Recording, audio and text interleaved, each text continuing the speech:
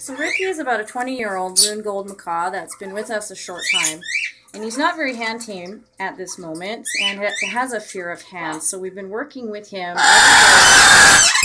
getting him to target and go to different stations and having it be a positive experience. So tonight, for the first time, he went up onto this T-stand. Now we're going to have him go onto his big stand, from his big stand into his door. He's very food motivated, so treats work great. Ready?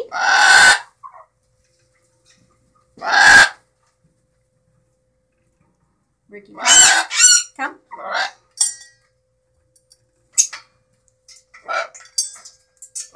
Yes! Good bird. So as soon as he gets to where we want him, the reward is the peanut. The cue word for him is yes. You can use clicker training for these birds, but because they don't like our hands right now, some of the birds get confused when they hear the clicker, so we've chosen to use the word yes as our cue word and peanut as his reward. So when he's done that, we're going to get him to station on top of his door, and then we will get him inside his cage. So as you can see, Ricky is very motivated. He already knows what I'm going to ask him to do and started going towards his door. Ricky, door. Door. Door.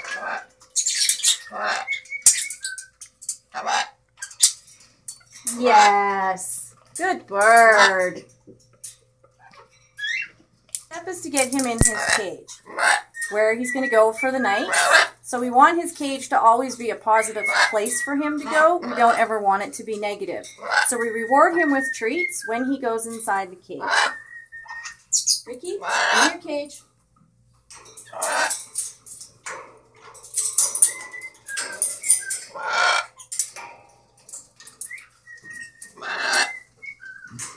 The way.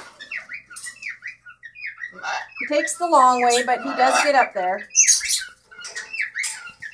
No, in your cage. Okay, now he's doing the trickster.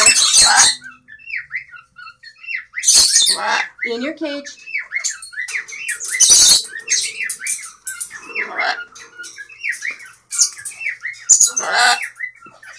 In your cage, Ricky.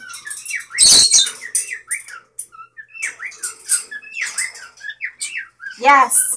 Yes. Good boy. Yay. Good job, Ricky.